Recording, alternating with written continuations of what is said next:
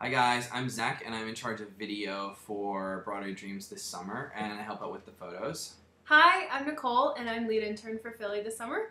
And we just wanted to take a second to help you guys out and give you some tips on your audition for final casting in Philly this week.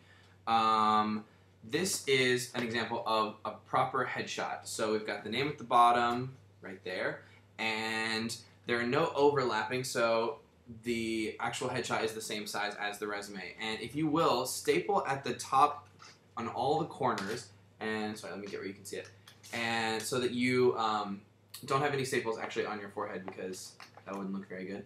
Um, and also so that it won't come apart once it's been stapled, so everything stays together. This is example of the wrong way to do things. We've got a bunch of stuff hanging over here on the edges. It's like not stapled. We've got a paper clip. And what happens if they come apart? We don't know who you are. So we want to know who you are, especially for casting. So if you do run into that problem, staple the edges and then just trim off the excess so that everything is the same size and nobody loses it. Yes. And a quick note about music is um, you all know to bring in 16 to 32 bar cuts. Um, we're not doing whole songs because we have a lot of people to get through.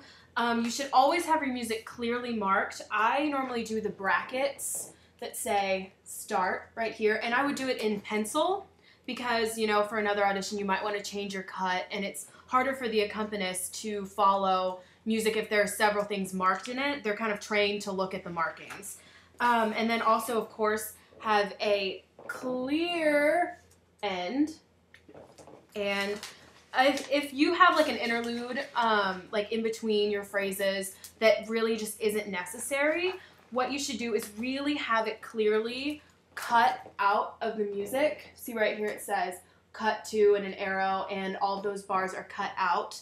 And if there's any confusion the best way to do it actually is to um, photocopy the music and literally just have blank spaces where that interlude would be and then have an arrow right to where you're going. Exactly, so that nobody gets confused. Yeah. But you can also, if you've done it like this, you can also solve that problem by talking to your accompanist Exactly. beforehand and letting them know there's a cut and where it's at. So they know exactly when to expect it and there's no delay or mess up in your audition because we wouldn't want that to happen. Nope. You want you want everything to go your way. Exactly. And also remember when you get to the accompanist to give them the tempo, just you know sing, you know, a phrase or two and they'll say, "Okay, I got it. Thank you." And walk to the walk to the center of the room and have a great audition. Exactly.